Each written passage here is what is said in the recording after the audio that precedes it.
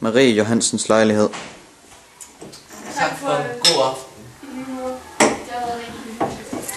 Jeg må også sidde til sådan.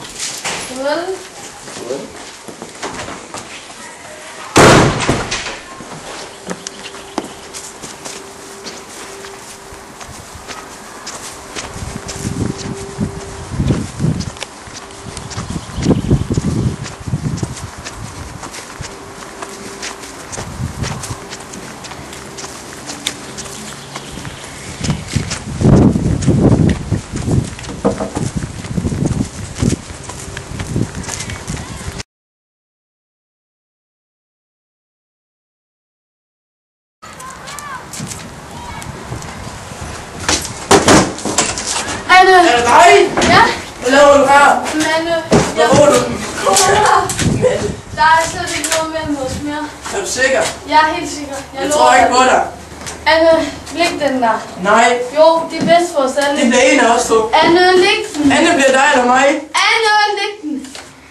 Nej. Anne, jo. Okay. Hvad er det? Er det Paul?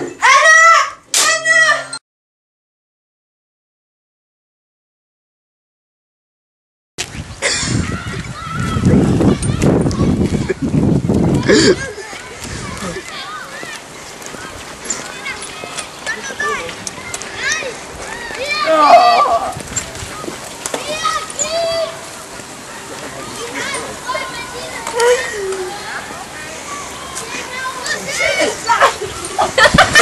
ha ha!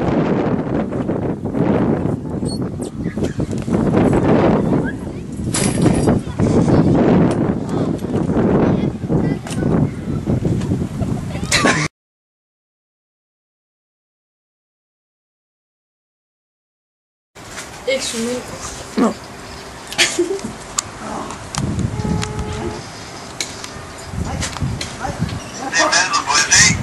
Ulla Vinter.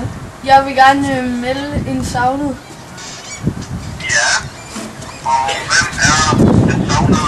Maria Johansen. Jeg skulle have været sammen med en for to dage siden, og hun er forsvundet nu. Øhm, hun er sidst set i hendes lejlighed sammen med øhm, hendes svoger.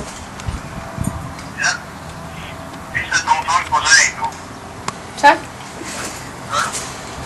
Farvel.